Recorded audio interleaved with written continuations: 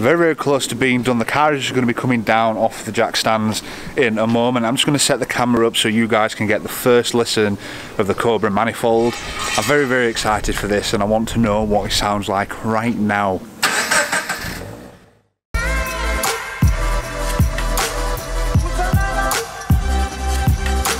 Hey up everybody and welcome back to the channel. So today we've got another mod being installed. I'm just going to show you guys before we head off to go get it done. Um, so we're just going to go over to the car now, but the GT86 will be getting some more noise, which is very, very exciting. So let's have a look to see what it is.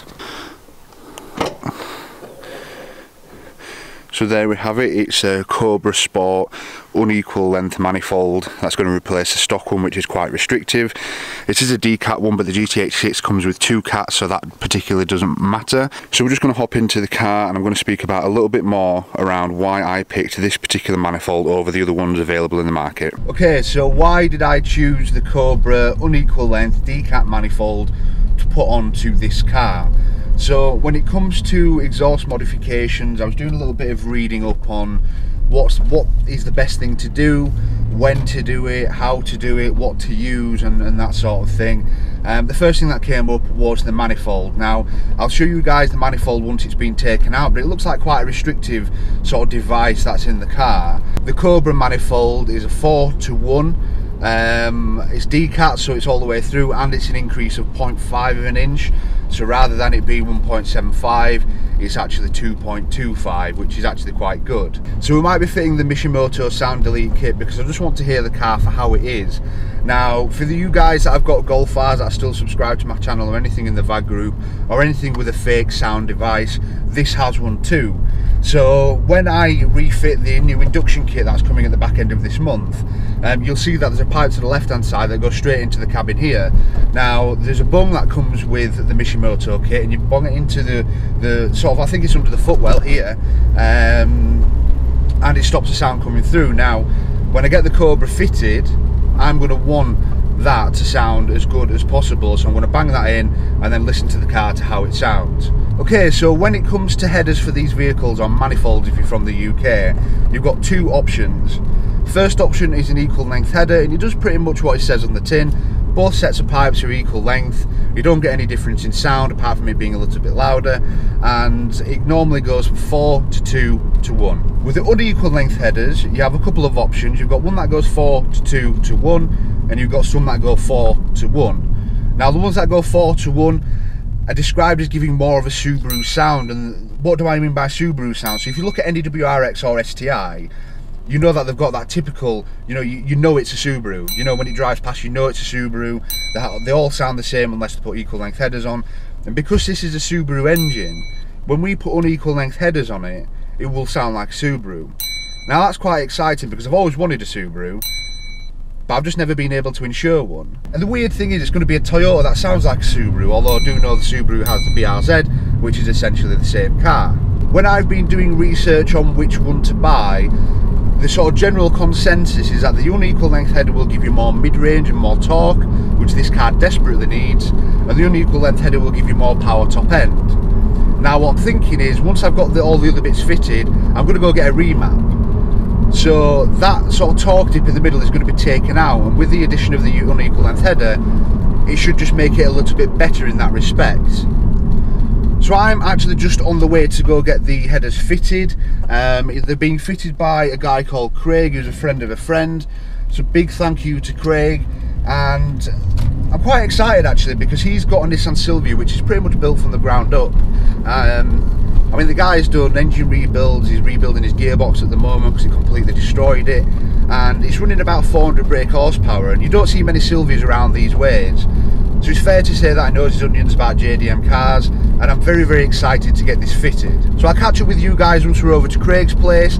I don't know how much of this I'm realistically going to be filming because I don't want to intrude on his personal space but you'll see what goes on when we get there. And as always, if you enjoy this type of content, I'd really appreciate it if you could like the video, subscribe to the channel and keep up to date with what I'm doing. But let's go get these headers fitted. Okay, so as you guys can see, the car is behind me, the front is lifted up, um, the manifold, the bolts all came out absolutely fine. I'm just conscious of filming too much here because I appreciate it is his house and I don't want to give away his privacy or anything like that. But the only issue we've got now is the overpipe is in the way of the manifold actually coming out. Um, so I think what we're going to do is drop the rest of the exhaust down a little bit just so we can get the manifold out. But other than that, it looks like a fairly simple install. The underpan that's actually holding everything together underneath. There's a lot of pins and plugs in there, so that's the only time taking thing. But I'll come back to you guys when we've got a bit more of an idea of how long it's going to take and what it's going to be looking like.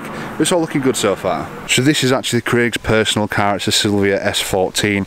It is a drift car, as you can see from there. It says T-Slide, so he's up at Teesside quite a bit once the car is back on, on the road.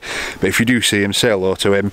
Um, it's actually a very, very nice looking car. It's got some Michelin Pilot Sport 4s on the front with some 9 inch width wheels I believe but these aren't the drift wheels it does get some uh, other wheels as well but it's got some little little battle scars as well but in general the car looks quite good quite like the uh, the message there if you can't see it it says no screaming no touching buttons and hold on that's the rules for the passengers. But it's fully caged up. A very very nice car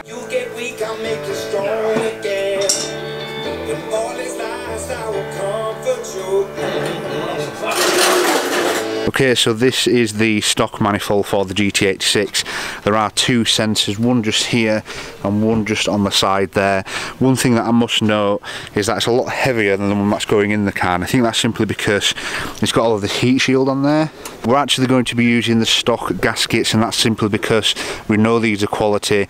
I'm not sure what the ones are like that have come from Cobra, but we're going to use them. If there is a problem, we can swap them over. Obviously, we've still got them, but it's time to put the new manifold on. Okay, so the manifold has been fitted, it's been pretty smooth sailing, there were just a couple of bolts that needed to be taken out of the stock manifold to put into the new one which is absolutely fine, it's gone on perfectly, it fits brilliantly, a big thank you to Cobra Sport for making such good products, you always do, I've had a couple of your bits before, um, I'm looking forward to hearing it to be fair, so when everything is back on, the under tray is going on now, I'll get a shot of the car starting up for the first time with the Cobra unequal length manifold. Very, very close to being done. The car is just going to be coming down off the jack stands in a moment. I'm just going to set the camera up so you guys can get the first listen of the Cobra manifold. I'm very, very excited for this and I want to know what it sounds like right now. Um, so I'm just going to put the camera down and then we'll come back to you once I'm back in the car.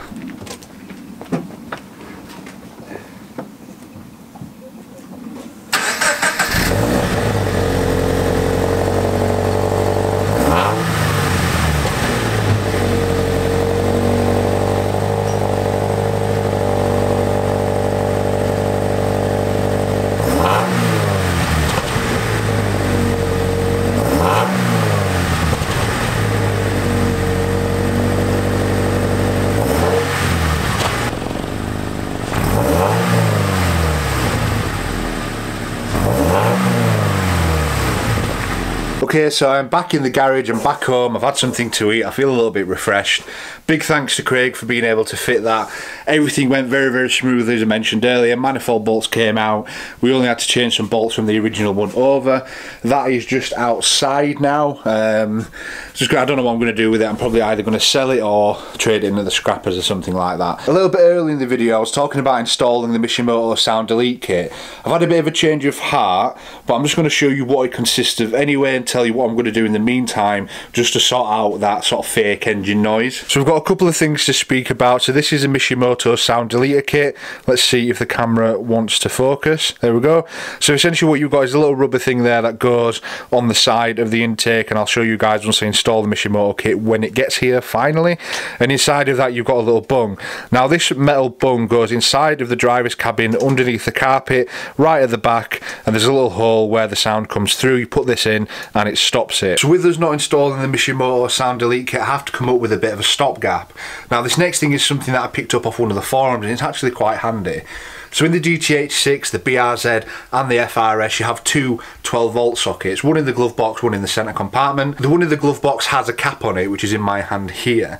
Now this cap fits perfectly into the hole in the driver's side and it will bung it up for the meantime. I only want to install the Mishimoto stuff and I've got the induction kit on there as well but I'm just going to go put this in and we'll see what it does. So welcome everybody to a Toyota GT86 footwell. It's not the most exciting of places but I just want to show you what I'm going to be doing with this 12 volt cover here. Now if you just pull the carpet back a little bit you can see the hole there and that's where we're going to plug this in so just bear with me whilst I do it and then we're going to go out for a drive see what it's like see if we can hear the unequal length header anymore and I think that's the video wrapped up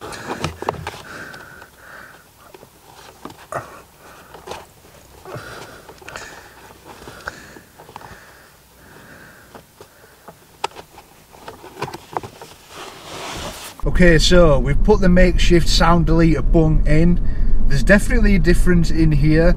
I mean, if you've got a GT86 or any of them cars, you'll understand what I mean by when I say when you're driving along, when you're going up further through the RPMs, you don't get that sort of raspy noise in the cabin. You just hear the engine.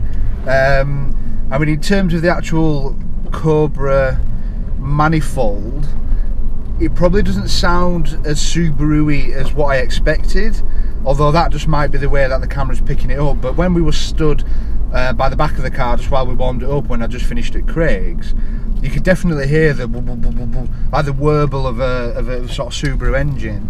Um, it may be because I've got a completely stock exhaust back from that um, and when we take out a silencer it might just free it up a little bit more and you may be able to hear a little bit more of that sound but all in all the car does feel a little bit more responsive when on throttle and I know the unequal length manifolds are supposed to increase the, the sort of torque a little bit so that would make sense.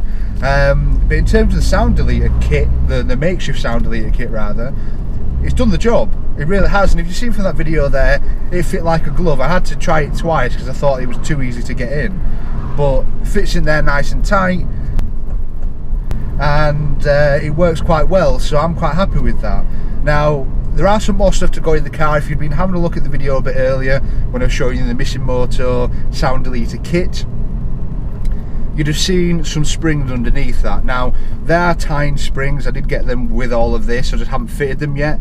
And the reason behind that is I originally thought that 15mm would be enough but when I put the wheels on it actually turns out I've got more arch gap had before. So what I'm going to do I'm going to see if Demon Tweeks will exchange them for the 25mm ones. Now they're exactly the same price so there shouldn't be an issue in that respect. But I just want to get rid of the arch gap and give it a nice ride. Um, so that will be coming up shortly. I'll probably get them fitted by Craig as well very very good guy. Thank you again. And I really like Silvia by the way. But yeah all in all I'm very happy with the install of the manifold. It went a lot simpler than what we first expected. No issues with the manifold bolts no issues with anything getting off or putting on or anything. But it sounds quite nice. As you can see from the beginning when I showed you what it sounded like on the first start up it's got a little loud reverse, sort of cold start and it's a little louder in general when you're putting the foot down and when you're going for it. Don't worry though because there will be more videos where you can hear a better sound of it when it's flying by and stuff like that. Plus I'll also be at Trax in October so if you are going down there please be sure to pop along and say hello. I'm not sure what stand I'm going to be on yet but I will update you as and when I know. As always if you've enjoyed this video please remember to like it subscribe to the channel and keep up to date with what I'm doing. And until next time I'll see you then